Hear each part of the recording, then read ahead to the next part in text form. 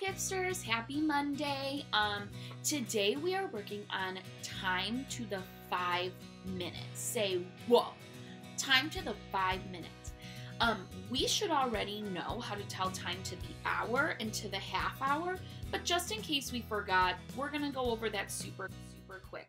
We know that on the clock, the minute hand is the long, big hand. Say long, big minute hand and then say, tiny little hour hand. It's my tiny little hour hand. Remember, our hands will not always be um, colored, so we won't, if we're looking for the blue and the red, that might not always work for us. So we need to know that the minute hand is the long one and the hour is the tiny baby. Hmm, so cute. So the first thing we need to know is when the minute hand is on the 12, that means oh o'clock. That means oh o'clock. Good. So when it's pointing at the 6, we know that means it's 30. That means that it's, if in, in this case it'd be 9.30.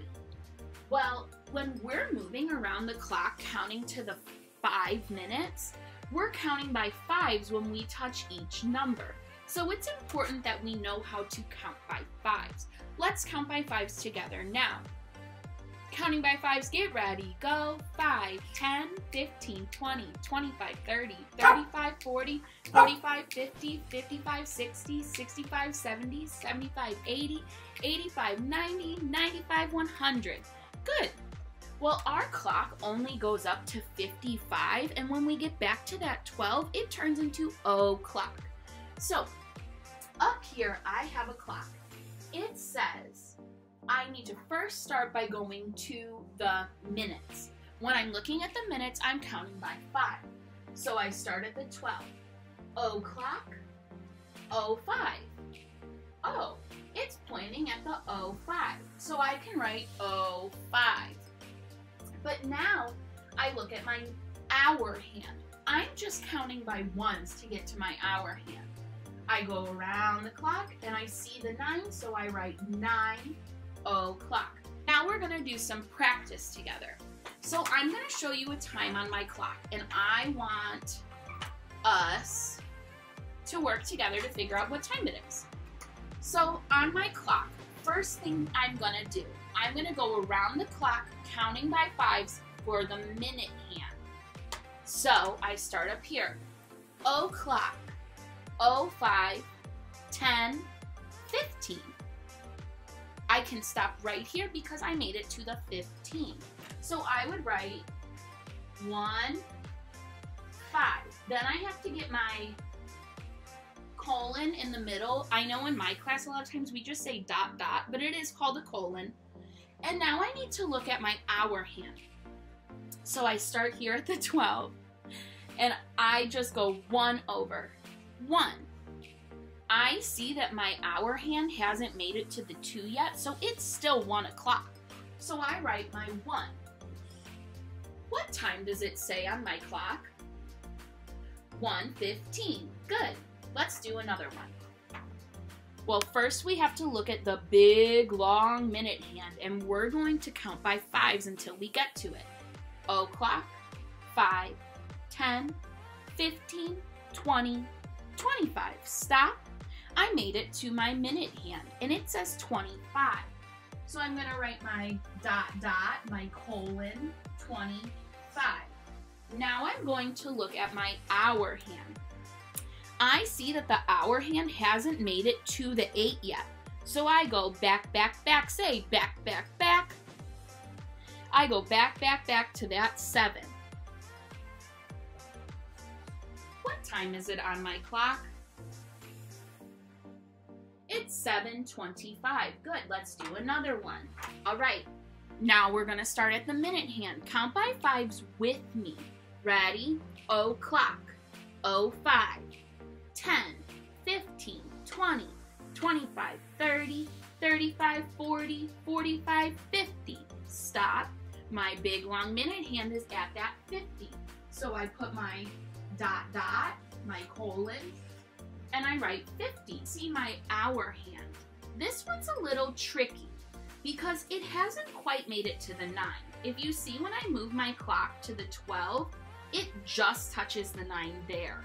I know that's super duper tricky, but when it was on that 50, we're technically still at that 8 o'clock. We go back, back, back to that 8 o'clock.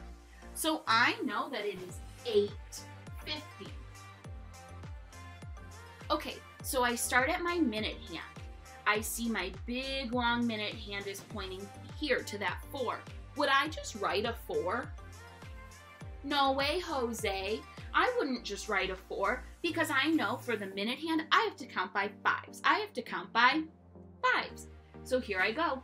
5, 10, 15, 20. I know that the long minute hand is at 20. So I put my colon, 20. Now I look at my hour hand. Did my hour hand make it to that 3 yet? No way, Jose, so we gotta go back, back, back to that 2. I know it is what time on my clock? 2.20. Good. All right, two more. We'll go quick this time. Take a look at the clock. Look at our minute hand first. Where is the minute hand pointing? To the 5. But would I just write like that? Just dot dot 5? No, no way. I have to put in all 05 because there has to be two digits in, there has to be two numbers in these digits. Now let's take a look at the hour hand. My hour hand is pointing right to the number 6. So I just write 6. What time is it on the clock? It's 6.05. Good. And let's do the last one. Well, I do the same thing as always.